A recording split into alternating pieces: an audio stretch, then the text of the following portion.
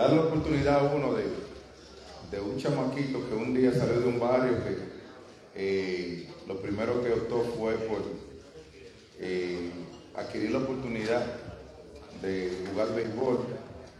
Eh, David. David, en este momento una sorpresa, una llamada telefónica del presidente de la República, Luis Abinader.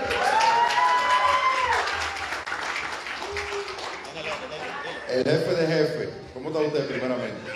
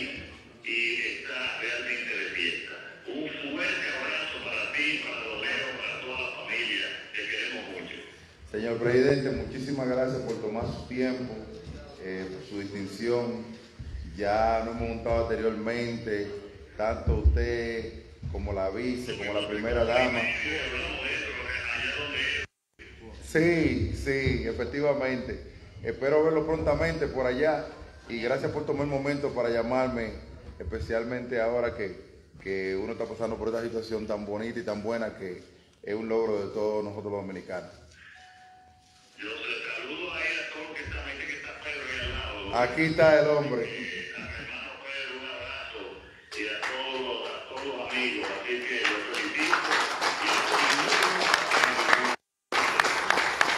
Muchísimas gracias.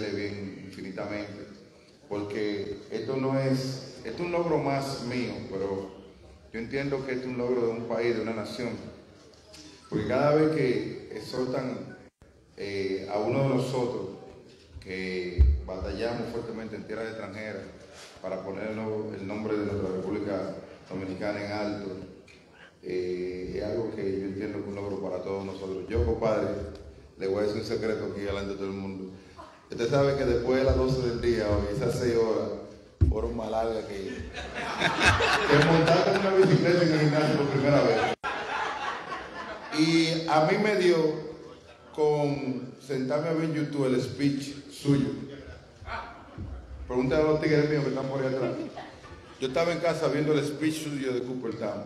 Porque me huelía algo heavy que iba a pasar. Yo no estaba tan seguro, pero me huelía como que tenía el feeling, como que de algo heavy iba a pasar. Y aprendí muchas cosas, había prestado atención en torno a eso, pero de verdad muy contento. Eh, es un honor de verdad para mí que me, que me unan a un grupo élite, donde está este caballo que está aquí al lado mío, que gracias a Dios que está, que estuvo ahí en esa habitación conmigo cuando yo recibí esa llamada. Eh, mi papá, mi compadre, mi agente, que es como mi padre, Fernando, que me conoció cuando yo tenía como 18 años.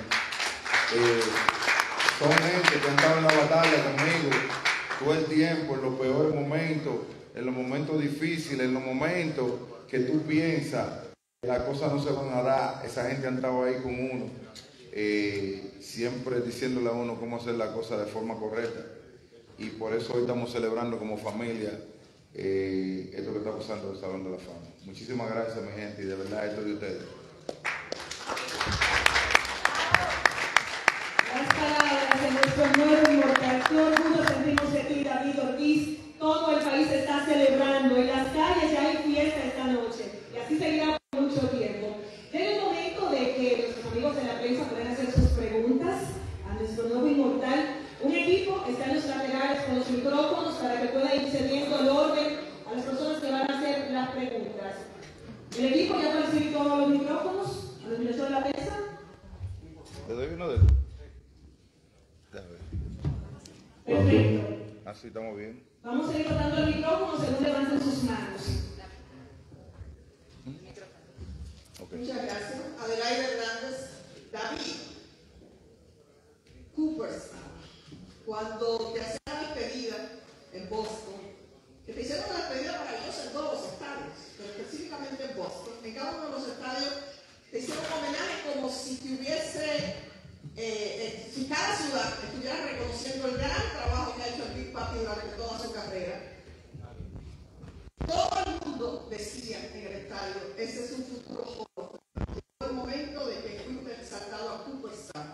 Ya después de recibir la llamada, ya después de dejarlo tranquilo, ¿qué hay en el corazón de David en torno a esta exaltación?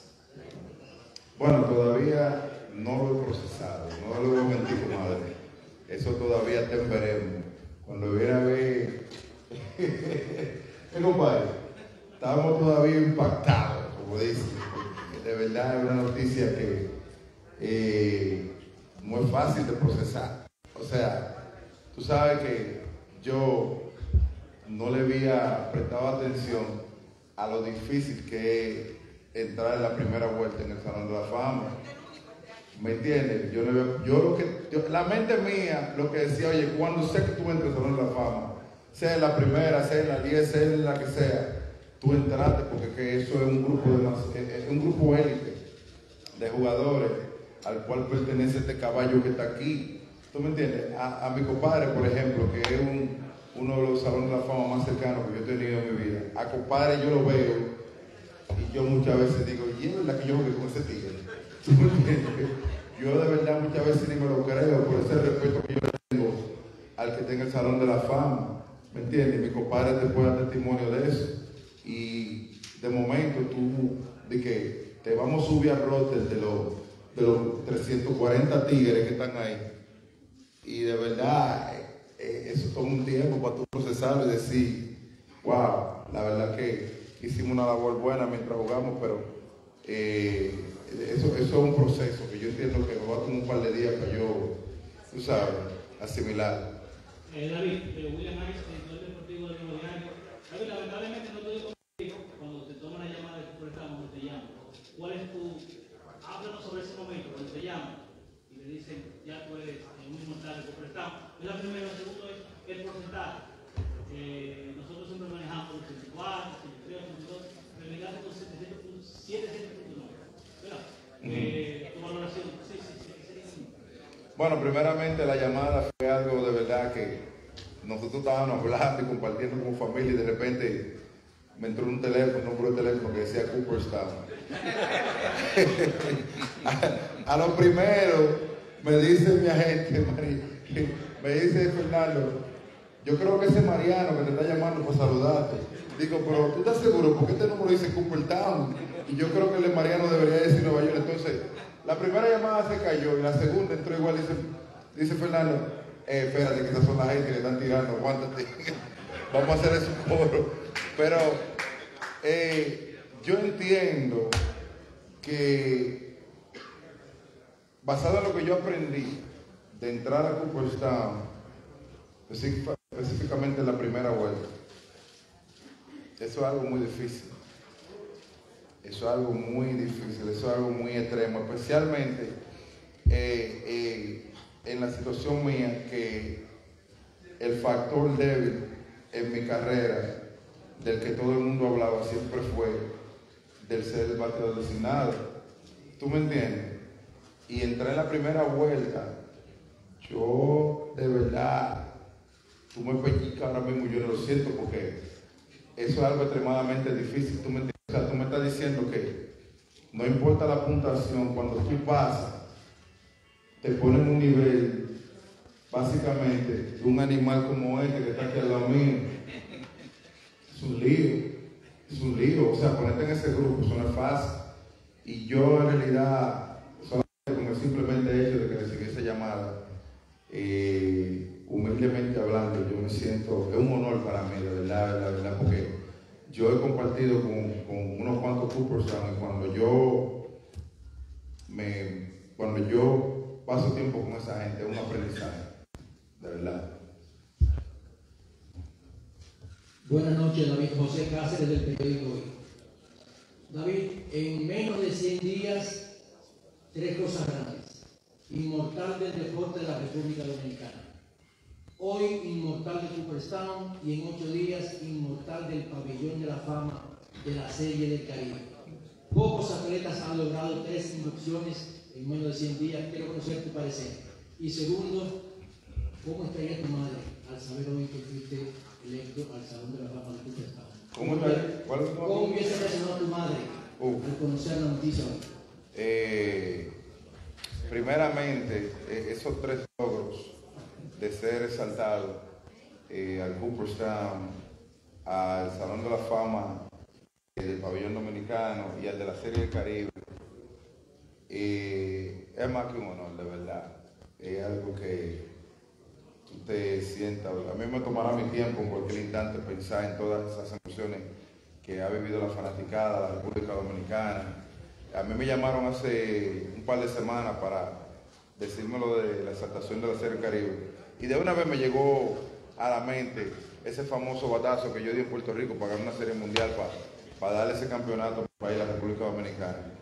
Y son cosas que en tu carrera eh, tú vas como que archivándola, pero mientras tú estás jugando tú no le estás dando mente. ¿Me entiendes? Ahora yo me siento muchas veces en YouTube a ver, por ejemplo, los mejores batazos del Big Papi o de David Ortiz, y ahora me impresionan porque ya yo no juego. Ya yo lo que me enfoco no es ni siquiera en los batazos que yo di, sino en las emociones que yo veía que los fanáticos vivían, porque nosotros somos entertainers, nosotros somos gente que de una manera u otra traemos felicidad y de ahí que viene eh, el, el- el ser partícipe de lo que está pasando ahora mismo, ¿me entiendes? Pero de verdad es algo que es un buen momento en, mi vida y gracias a Dios vuelvo y repito por darme la oportunidad personas como esta que están aquí a mi alrededor que uno muchas veces como muchacho al fin, uno entiende que se la sabe todo y estos tigres son los que alinean a uno y te dicen, no, por ahí no, es por aquí. ¿Me entiendes? Y a todo el joven que está allá afuera mirando esto, siempre recuerden que hay una gente que está aquí primero que ustedes, que se sabe el camino antes que ustedes lo pasen y siempre te van a dar los consejos correctos, depende como tú lo quieras poner en juego. Oye, mami, si mami estuviera aquí, estuviera bailando ahí ahora mismo.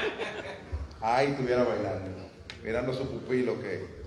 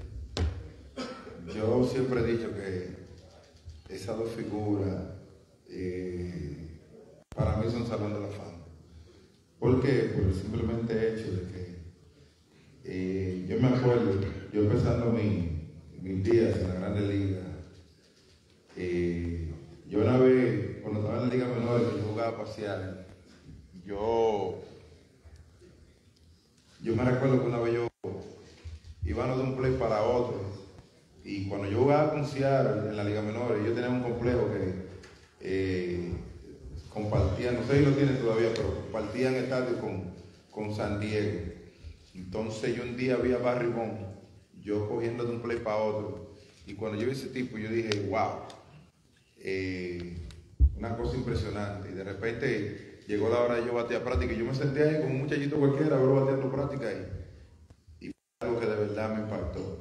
Y después lo conocí, después que llegaron de liga, y eso era, ese era un tipo que de verdad, eh, ese tipo era, pa- para mí, para mí, el mejor bateador de todos los tiempos. Eh, sin lugar a dudas, lo, fue Barry Bonds. Y yo entiendo que eh, yo, entendía que él iba a entrar al Salón de la Fama en esta vuelta. Yo estaba viendo, eh, durante un tiempo mirando las votaciones, tanto él como Roger Clemens, pero al final del día yo no voto, yo no tengo ese poder para, eso es lo que yo entiendo, pero no tengo esa potestad. Lo- lo- lo- los escritores sabrán la razón por la cual ellos no han entrado, pero para mí es un salón de la fama. Y, ¿cuál fue la otra pregunta? Pero, ¿cómo defines el momento? Tú estás, estarás en Cooperstown con él. Bueno, eh, tú sabes que el compadre, él lo que no sabe que él tiene, como él lo quiera llamar, o un hijo aquí o un hermano, el cual Dios lo multó con tener lo que guiar el camino, porque primeramente tuvo que en voto meter mano conmigo. De Cupertino yo no sé nada, y él se la sabe todo. Él tiene años ahí, así que bobo para él. Buenas noches, David. Jessica Hasbun, Noticias SN. Hola, Jessy. Hello, hello. Pocas veces te he visto llorar. Pocas veces. En algún momento de tu carrera, tu vida, al retirarte, ¿pensaste que no llegarías al Salón de la Fama cuando estuviste herido? eh, un momento súper difícil en tu vida. ¿Qué te digo? El Salón de la Fama es algo que yo de verdad nunca... yo, no, yo no empecé a pensar en el Salón de la Fama hasta este último año, de verdad, te lo digo sinceramente. ¿Por qué? Porque es algo que es un poco controversial, porque tú tanto oyes cosas a favor tuyo como cosas negativas. Tú... ah, Hay muchos elementos los cuales eh, te ponen a pensar en, en el caso específico mío. Me imagino que en el, en el caso específico de mi compadre, yo no creo que yo escuché a nadie diciendo nada negativo. Entonces, no, el tipo, el día que llegue se fue, ¡boom! ¿Me entiendes? Pero el caso hipotético mío, por lo de la posición que yo juego, por la historia que hay por ahí de lo que salió en el 2003, siempre salían y surgían muchas historias negativas. Entonces, yo me decidí, porque yo soy un tipo que yo controlo mi mente y, y- enfoco la mente mía y mi visión en lo que yo quiero. A mí nadie me saca de mi caballo. ¿Tú me entiendes? Entonces, yo cuando me retiré, yo decidí no hablar de eso. Y poner atención cuando llegue ese momento, que ahí está mi papá que te puede decir. Ah, tú le una fama no. Eso, yo no tengo control de eso. Yo hice lo que yo tenía que hacer en el terreno. Si un salón de la fama lo meten en el salón de la fama por lo que hace en el terreno, dentro de su periodo de tiempo, cuando le dan su oportunidad, pues soy salón de la fama. Pero yo no entraba en discusión ni en tú me dices, yo te digo con la gente, porque al final del día, ¿qué tú ganas con eso? Nada. Eso tú se lo dejas en la mano a los grandes, a los baseball writers, cuando llegue su momento y pasa lo que sucedió hoy. Ellos entendían que yo no estaba hablando de la fama, por eso estamos aquí.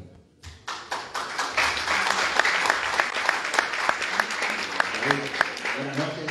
Antes, antes, perdón, perdóname. Antes de continuar con las preguntas, pedirles por favor, colegas de la prensa, que hagan una sola pregunta, no dos, para que todos tengan chance de preguntar.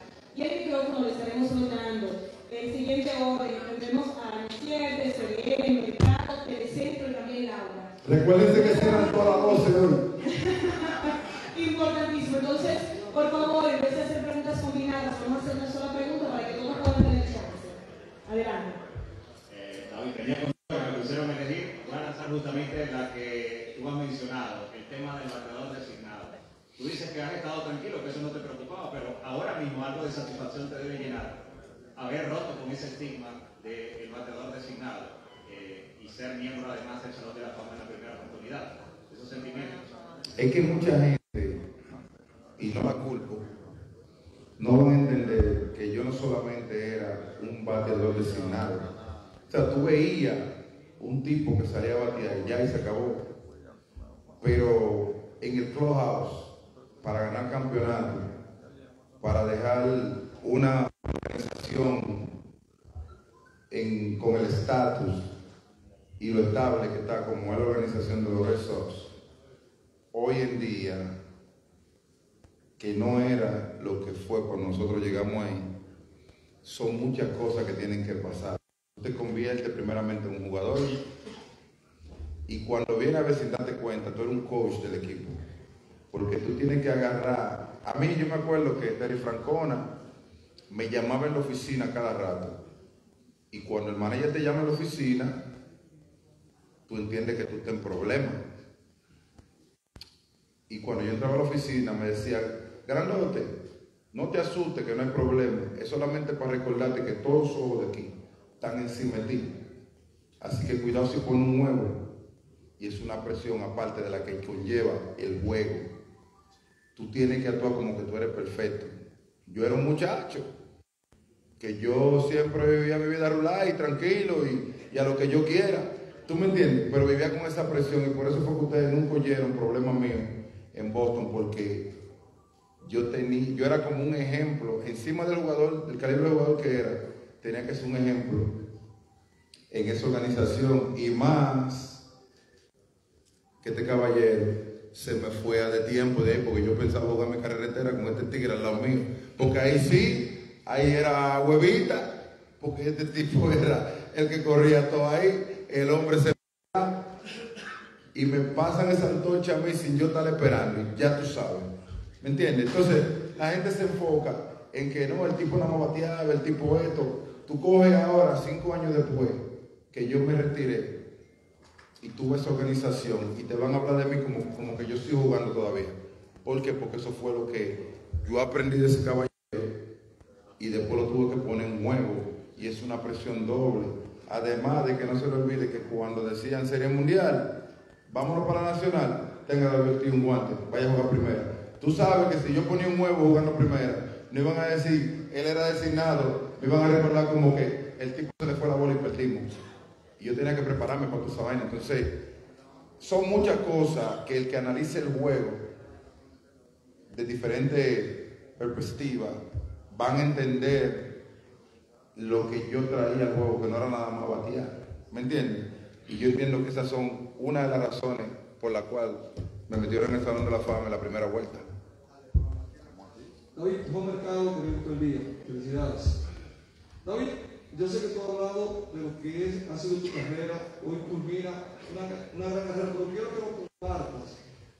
¿Qué tú recuerdas la primera vez que tú firmaste un contrato con la mejor profesional con de los Santos? La uva, que en paz descanse, eh,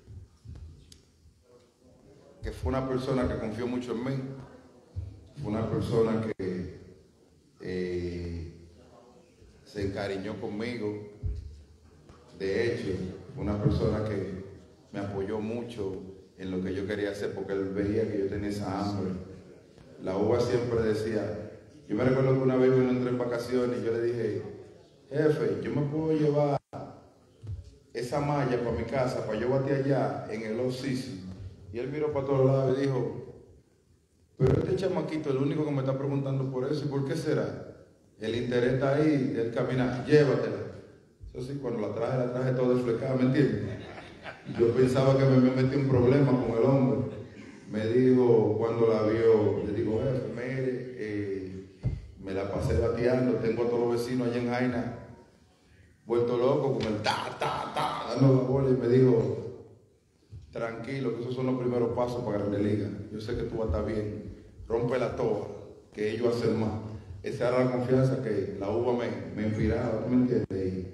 Y, lamentablemente, físicamente no lo tenemos aquí, pero yo sé que donde quiera que Dios lo tenga, ese tiene que estar extremadamente orgulloso de mí. David Frank Camilo de CDN, CDN Deportes y Mi hermano. Dios te bendiga, hermano. Igual. Felicidades. Pedro, Fernando, Don Leo, la joven del banco, muchas gracias por este momento que nos brindan con el inmortal David Ortiz. En tres de tus gra- grandes logros, te voy a pedir que me elijas uno. Tres grandes logros de tu vida.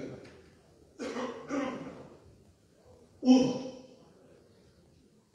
Devolver la maldición del bambino, siendo el más valioso en aquella serie de campeonatos en la que Boston vence a los Yankees viniendo de un 0-3, siendo el más valioso. Dos, tus logros con la fundación, tantos niños, tantas familias, familias felices, gracias a ese esfuerzo que tú y los que creyeron en ti te te patrocinaron esa felicidad de esos niños. Y tres, tu elección María Cooperstown. ¿Cuál de las tres llena más la vida de David?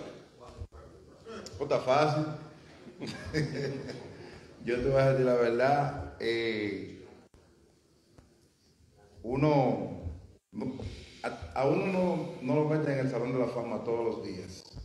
Eso es obvio. Eso es, eso es una larga espera y eso es algo que es único.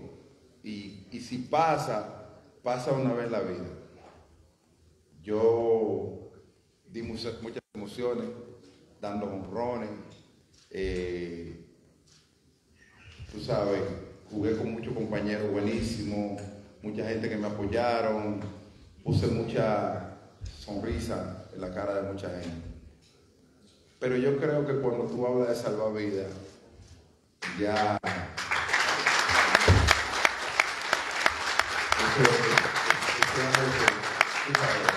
Pasa a otro nivel y eh, gracias a Dios tenemos la fundación ahí que ustedes no pueden echar la culpa a mí de eso, ustedes todos tienen que ver con eso, porque cada vez que uno de ustedes pasa la noticia y tira uno para adelante en lo que uno está haciendo con la fundación, eso trae más gente, motiva más gente y, al final del día lo que terminamos salvando vidas, todos los que estamos aquí, ¿me entiendes? Así que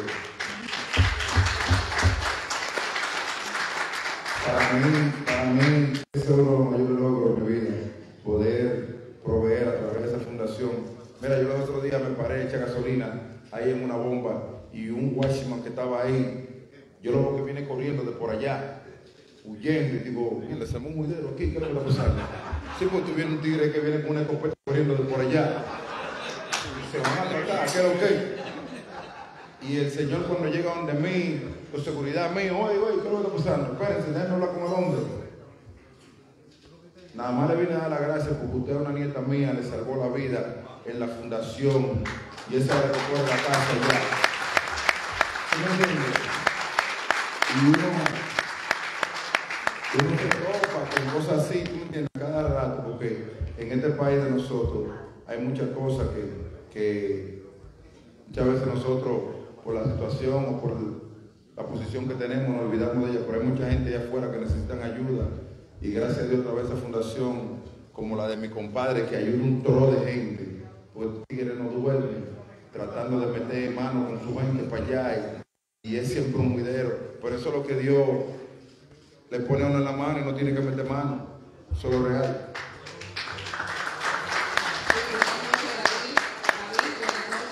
Natasha Batista de Telecentro, Canal 13. Mi comadre, Aquí estamos, compadre. madre, usted no le baja, ¿Cómo fue? usted no le baja.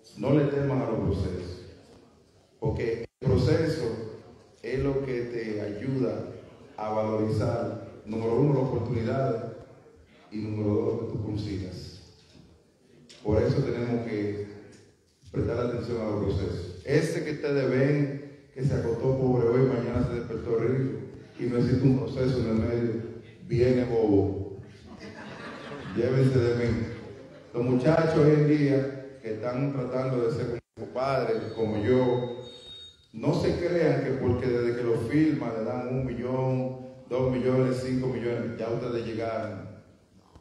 Al contrario, por esos cuartos que le están dando, ustedes tienen más presión. Por ejemplo, a mí me dieron 25 mil dólares en aquel tiempo, desde que yo puse la cama se fue. Digo, papi, pero no te compré un radio, tranquilo. ¿Me entiendes? Pero la motivación y lo muy importante que le voy a pasar este micrófono a mi compadre ahora, para que me siga en esa ruta, porque mi compadre tiene más cotorra que yo y tiene muchas cosas más bacanas que yo que decir. Pero el que los muchachos lleguen hoy en día, porque te voy a decir la verdad, el talento que tenemos en la República Dominicana, yo nunca lo había visto en mi vida. Se lo juro, miren, nosotros venimos de unos tiempos bacanos, jugando pelota. Yo jugué con Tigre que yo decía, wow. Pero el talento que yo estoy viendo que están filmando hoy en día, yo vi un carajito el otro día de 14 años, que cuando yo lo vi, en mi mente yo le puse un uniforme, lo puse a tercero profesor, con 14 años. Te estoy diciendo, y es de mí que está viniendo, o sea, no es cotorra, porque cualquiera que no haya jugado juego, no haya jugado 20 años en Grande Liga, a lo mejor te puede decir lo que yo quiera, pero yo estoy viendo talento, estoy hablando de talento que estoy viendo aquí. Pero si esos muchachos no tienen el, el entorno, el, el grupo de papá, mamá, hermanos, amigos, que lo guíe por el camino que ese va a ser un talento perdido.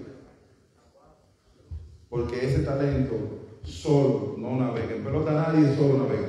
Tú puedes tener el talento que tú tengas. Y si tú no tienes buen oído y tienes un cerebro, el, la seta herramienta, porque es lo que yo le digo a la gente. Yo a lo mejor tenía dos o tres herramientas cuando a mí me firmaron, pero tenía una que era la más bacana, que era esta, que la controlaba Calimán aquí. ¿Me entiendes? Y yo me llevaba porque este tipo yo le guardo siempre su respeto. Hoy en día papi me habla y me dice, tenemos que hablar, me pongo en pánico de una vez. Por el respeto, tú me entiendes, creado. Entonces los muchachos, si no tienen esa columna de gente que lo administren, el talento se puma rápidamente. Dígalo usted, compadre. Hable usted, porque venga acá. usted, usted va bien. Usted va bien. Hoy, Muy es- bien. hoy es su día, sí, excelente. excelente. David, la Robert por aquí. Hey, mami, ¿cómo tú estás? Tampoco le he bajado nada. Tengo que seguir. La santiaguera creen que van a venir a meter terror. Tienen mucho tiempo en eso, tienen que bajarle. Tengo que seguir los pasos de detalle de. Eh, mi pregunta, David, iba de la mano con eh, como Yayara, quiero también agregar algo. Algo del Pedro y tú, igual que Vladimir, también igual que don Marichal, don Juan, es la humildad. Ustedes lo han tenido todo, económicamente, en su carrera, eh, están ahora en el de la Fama, tú estás ahora en el de la Fama y sigues siendo humilde. ¿Qué, qué hace David que le, que le mantiene los pies en la tierra? Que no se ve la movie, tú no eres la movie, pero un hombre que es cercano a todo el mundo. Entonces, porque mucha gente quiere saber. Totalmente. Estamos activos en eso, sí. Mira, ¿qué te digo? Yo soy de la gente que siempre he dicho. Yo, yo siempre antes de salir de mi casa o cuando me levanto, yo siempre hago un cálculo. ¿Qué me suma y qué me resta? Fácil. Estamos viviendo en unos tiempos que hay mucha gente afuera que se cree en la película. Automáticamente, o sea, y entienden que eh, tienen que agarrar la humildad y. Si tú te fijas y te vas a los tiempos bíblicos, cuando tú analizas la palabra de Dios, todo lo que dice y menciona la palabra de Dios va enfocado en la humildad. Nada va en contra de lo, de lo que Él dice, lo que entendemos, lo que sabemos como seres humanos. Nada va en contra de eso. Pues ¿por qué tú le quieres llevar a contra al balbú, al tipo que se la sabe todo? Al tipo que le pedimos con fe, al tipo que cuando nosotros lo necesitamos siempre dice presente. ¿Para qué llevar a contra? No se puede. Yo, en mi caso personal, yo siempre he entendido que mientras yo agarrado de Dios, todas las cosas se me facilitan. No importa en la peor situación que yo esté. Yo siempre doy la gracia a Dios y le pido que me dé sabiduría hacer eso lo que tú dijiste, mantener los pies sobre la tierra. Porque no es lo mismo tú tener los pies sobre la tierra firme que caminar en un piso rebaloso mojado, creyéndote la película. Yo entiendo que ahí tú tienes tendencia a rebalar, caer y partirte la madre.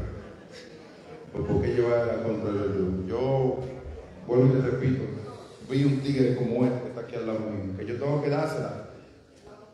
Yo tengo que dársela, porque que yo aprendí demasiado de este caballero que está al lado mío. Y una de las cosas que siempre tuve la oportunidad de aprender de él fue su humildad. Este tipo agarraba, me daba tres ponches cuando yo iba a Minnesota y me llevaba para su casa a beber y a comer. Nadie hace eso. Es humildad, porque después que yo te dé tres ponches, dime, manito.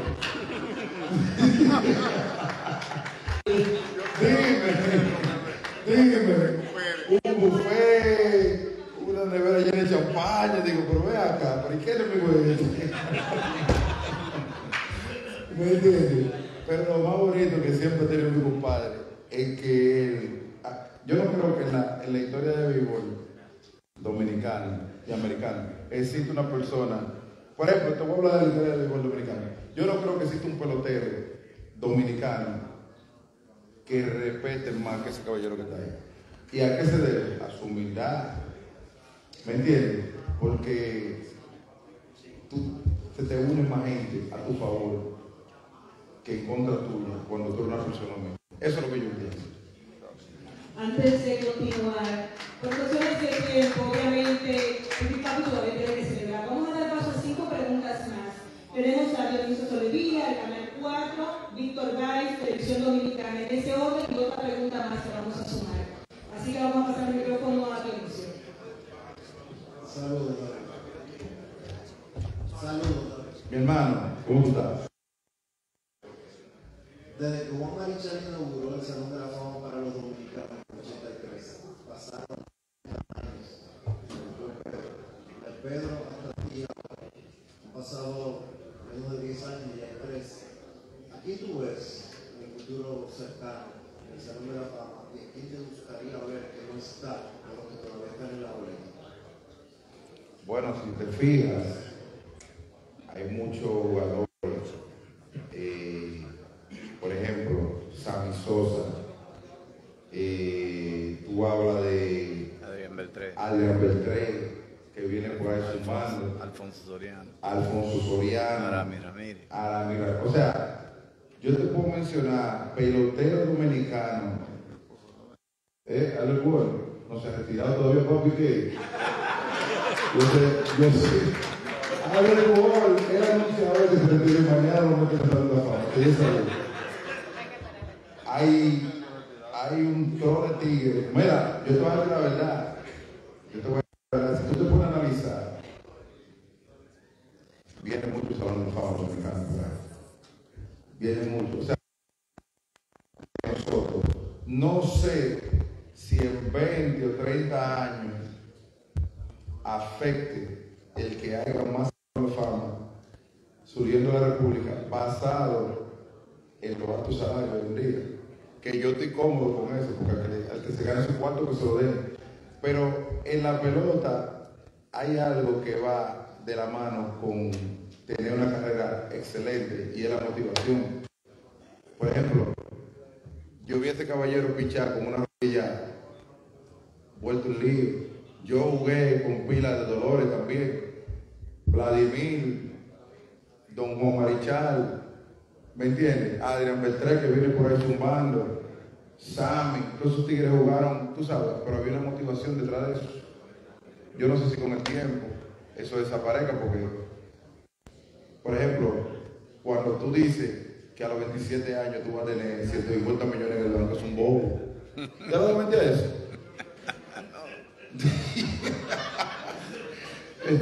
El ser humano en sí funciona basado en la motivación. Los otros días estaba yo matándome con Machado porque me, estaba hablando de, que retirarse después de terminar el contrato. Digo, va a seguir. Tienes que jugar pelota mientras tú te, te sientas bien. Tú eres un tipo que tiene buen físico. ¿Tú me entiendes? O sea, esos muchachos no le hablan para que entiendan que ellos ya han creado una carrera que pueden ser salón de la fama, pero tiene que existir la motivación. David, tu placa va a estar Diano Rivera. Esa rivalidad Yankees-Boston, que fue muy importante lo que fue tu, tu legado en Grandes Ligas. Háblame de eso, el impacto que tuvo esa, sobre todo lo que pasó en postemporada con los Yankees de Nueva. Eh, esas dos personalidades que acaba de mencionar siempre estarán, eh, siempre serán parte de lo que uno es hoy. Y es porque cuando tú hablabas de un Jeter, de un Mariano Rivera, tú sabías que tú tenías que traer eh, tu mejor juego para poder competir con esa gente. Que de hecho, recibí una llamada, un mensaje de cada uno de ellos y ya tú entiendes, existía una rivalidad, pero también existía un respeto. Y esa es la razón por la cual esos tigres le están tirando, lo están copiando a uno ahora, porque saben que uno, uno se preparaba para competir al nivel de ellos y poner un buen show a la gente de afuera, pero ellos saben que uno era rabia igual que ellos, ¿me entiendes? que uno le metía, porque que de la única manera que tú puedes competir con esos monstruos es preparándote, disciplina y trabajando fuerte. Y, y de verdad, de verdad, siempre de por vida estaré agradecido de esos dos monstruos. David, felicidades. Está aquí, Hey, hermano. ¿Cómo tú estás, viejo? Bien, mi hermano. Contento contigo. Gracias, gracias. Ya estamos en Cooperstown. ¿Qué esperas ese domingo? ¿Cómo te imaginas? Sobre todo sabiendo cómo somos nosotros tan caneros los dominicanos. Bueno, el dominicano que no tenga su visa que empiece a sacar desde ahora.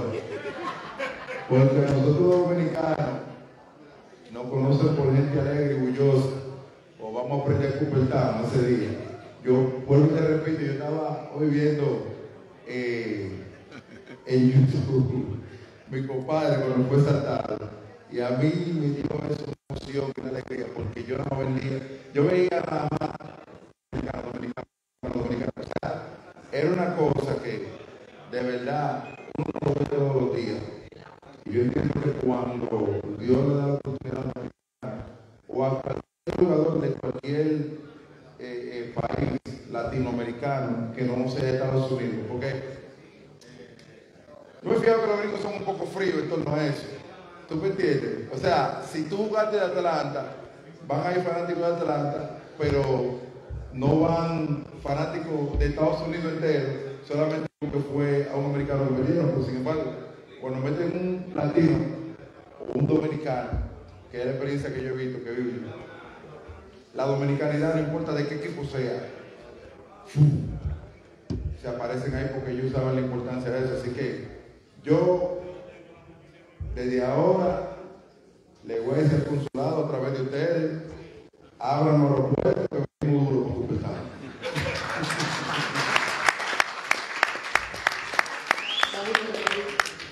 David Hernández de Nacional. David, anillos de serie mundial, momentos tristes, alegres, muchos millones, amigos, ídolos, eres ídolo de muchos, ídolo de muchos, inmortal del deporte dominicano, ahora inmortal de, de Cooperstown. Has salvado vidas a través de, de tu fundación. ¿Qué esperas de la vida? ¿Qué más esperas de la vida? Y si estás satisfecho con las cosas que has obtenido. Dios se ha pasado conmigo por empezar. Me ha dado demasiado. Yo creo que lo que Él me ha dado a mí era como para 20 gente o 30. Se ha pasado. No le puedo pedir a Dios más de lo que me ha dado. Ahora sí te voy a decir algo. Yo me veo un día predicando su palabra.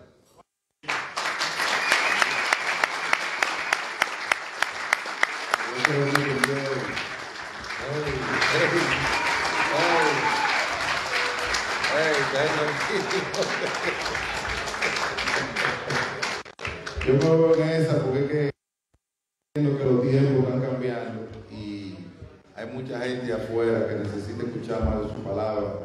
La gente está muy loca, la gente está muy desacatada, están pasando cosas que de verdad, yo soy un tipo que vengo de barrio y yo estoy viendo que, que están pasando muchas cosas locas.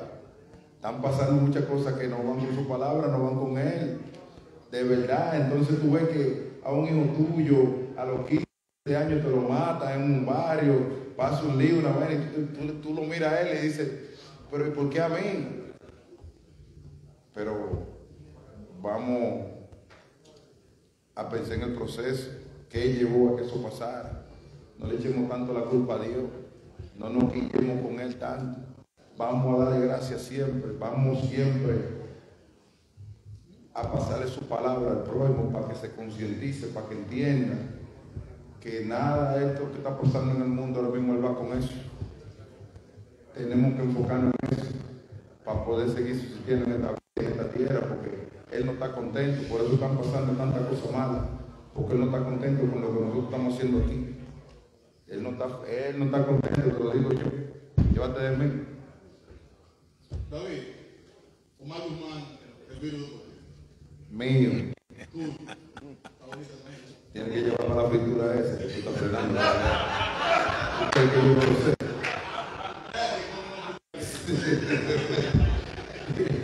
El virus. David, otro momento de grandeza en tu vida, otro momento de grandeza en tu vida. La gente ha hablado de estadística, la gente ha hablado de vivencia, la gente ha hablado de series mundiales. Yo creo que no quedan muchas cosas que hablar. Pero yo tengo que hacerte una pregunta. Y es como un negocio.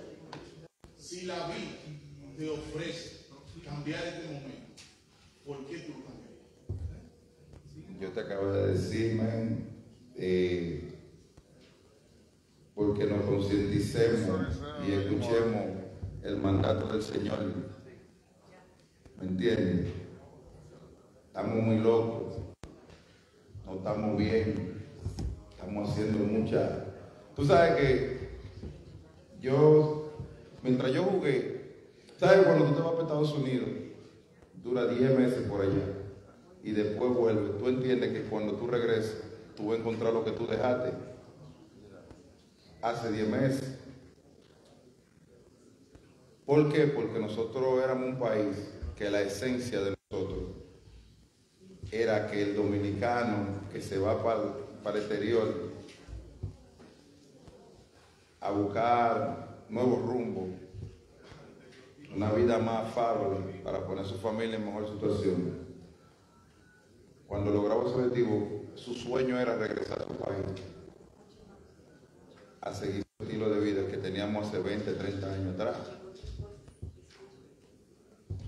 Todo ha cambiado. Ahora muchas veces la sorpresa te la llevas tú desde que ese avión aterriza aquí. Te viran antes de tú salir del aeropuerto, pasan muchas vainas que no están. ¿Me entiendes? Y eso hay que cambiarlo.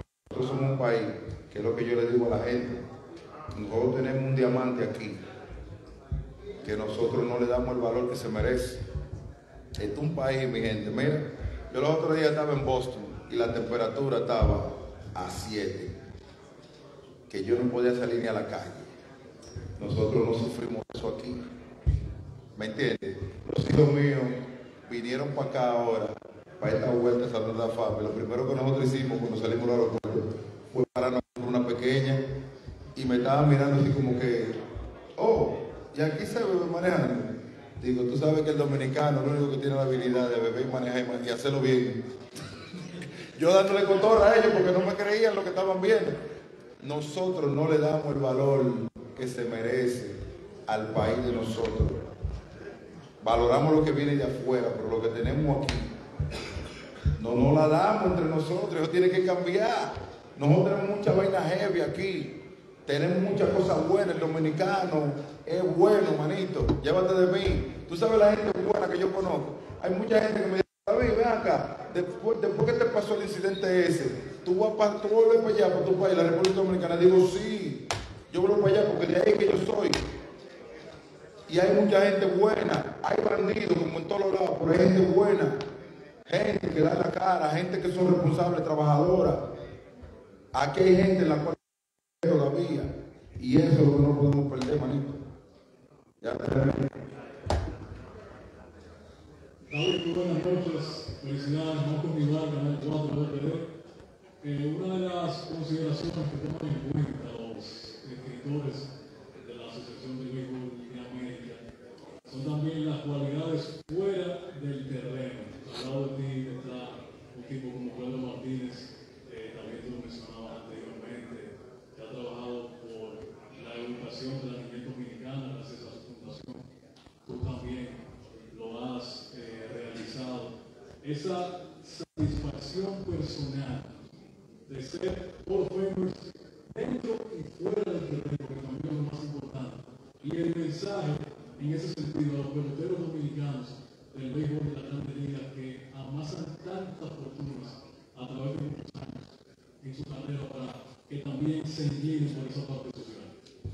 Mira, fíjate, Hello Firme fuera del terreno, yo todavía entiendo que tengo un, un largo camino por recorrer porque eh, el hacer bien no hay como algo que, que pueda medir eso.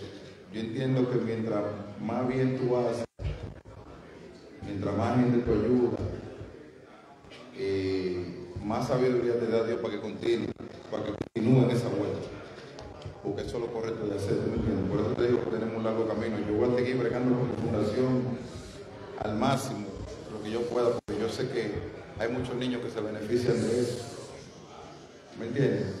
Y lo correcto es lo correcto, eh, definitivamente. A los jugadores nuevos, eh, yo entiendo que los tiempos han cambiado, los muchachos ya tienen asesoría desde el principio, cosa que en realidad no existía en los tiempos de nosotros, por eso tú vas a ver a menos jugadores poniendo huevos allá afuera, tú vas a ver que los muchachos van a tener un manejo diferente, la sociedad tiene ya que poner a un lado el ver al jugador de pelota solamente como una persona con dinero, porque nosotros escalamos niveles en Estados Unidos y en el mundo los cuales muchas veces a nosotros no nos la quieren dar aquí, pero lo real, porque nosotros lo hacemos no por nosotros solamente, ni por la familia de nosotros solamente, sino por todo el que está aquí, todo el dominicano que está aquí, porque cuando tú un dominicano que pone un ojo de aquel lado, nos involucran a todos. Es igual como cuando uno lo hace bien. ¿Me entiendes? Eh, no hay, no hay un- un- un mediómetro que indique eh, qué tanto eso evoluciona, ¿me entiendes? Pero al final del día, eh, Dios le dio la oportunidad a uno de ser una persona de bien. Eh, Yo, gracias a Dios, siempre le doy la gracia a Dios por darme los padres que me dio, que eran macanas conmigo, que no podían eso, y que me enseñaron a respetar. Y yo entiendo que cuando tú respetas, cuando tú respetas a quien sea que esté en tu entorno, eso es lo que tú vas a recibir para acá. David, estamos en vivo para la emisión estelar de María Sortea, que de hecho es una gran fanática tuya. Mía. Una gran ¿Cuál es la cámara? ¿Dónde está Alicia? ¿Qué cámara? Dime. A ver, a ver, a ver, ¿dónde está Tu mami, pero allá. Alicia, no, te quiero, mi amor. Ella lo sabe. Mire, ella, ella me pidió que le preguntara un mensaje para el pueblo dominicano que está conectado en vivo con Noticias siguen ¿Qué le? ¿Qué? Bueno, primeramente, eh, darle gracias a Dios como siempre, porque eh, Él es el que en realidad define y decide al final de la jornada lo que va a pasar con cualquiera de nosotros. Y la gloria de Él, no hay duda de eso. Y que este logro no es un logro mío, este es un logro de la República Dominicana. Yo soy un producto de la República Dominicana. Esto es algo que... eh,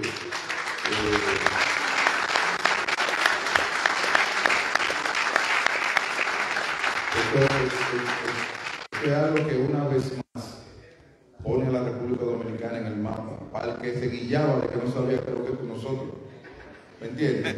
Ya tiene que meterle mano a eso porque es una noticia que corre a nivel mundial. Y si hubo una cosa en la cual yo me enfoqué cuando me dieron la noticia fue era mi bandera porque yo con orgullo llevo eh, esa bandera en el alma. Y es algo que a mí de verdad me motiva cada día más a de hacerlo bien.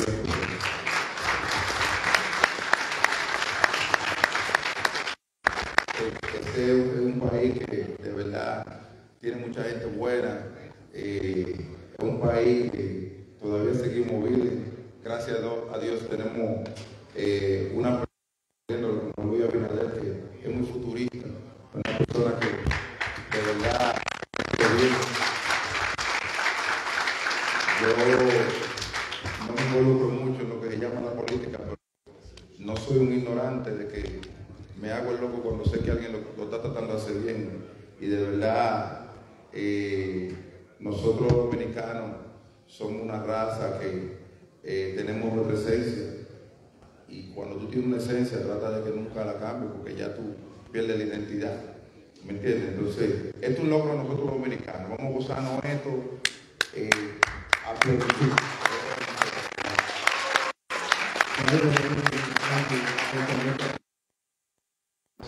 en directo, eh, fueron muchas personas que no creyeron, muchas las personas que decían que no lo lograría ni en esta primera vuelta durante los 10 años. ¿Qué le dice a esa persona? Fíjate, eh, ¿qué te digo? Eh, tú sabes que las noticias malas corren más que las buenas, pero los buenos son más que los malos. Siempre enfócate en eso. Yo no dejo que nadie, nadie me desvíe a mí de mi norte. Yo soy un tipo que yo mentalmente soy un búfalo. Por eso yo triunfé, porque, vuelvo y te repito, yo no era una persona que tenía las cinco herramientas, pero las pocas que Dios me dio, yo las supe usar. ¿Me entiendes? Y después que yo paso ese campo de batalla y salgo vivo, yo no puedo dejar que nadie me diga que me venga a divariar la nota. Yo no puedo, porque, venga acá, ¿y de qué valió que yo pasara por, el campo de batalla y sobreviviera? Y el que me estaba tratando de cambiar la mentalidad no estaba ahí conmigo, guerreando. ¿Me entiendes? La gente que querían conmigo reconocen lo que yo hice y me la dieron y esperaban que esto pasara. Me voy a volver yo loco de que dándole mente de que a un tigre que está robando wifi en un patio, de que, que no, que no va.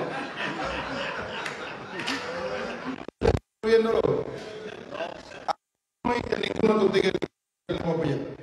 Porque eso estaban ahí guerreando conmigo y tirando para adelante conmigo. Y cuídame la espalda. Y es por aquí, compadre. Él para allá, papi, con un lío por el teléfono. Güey, ¿cómo estás viendo este tiene que llegar el del entrenamiento. Ellos creyeron en mí. Y van a me escuchaba lo que yo decía. Fíjate de eso. Al que dijo que yo no iba a entrar, hoy lo único que le queda es celebrar con nosotros.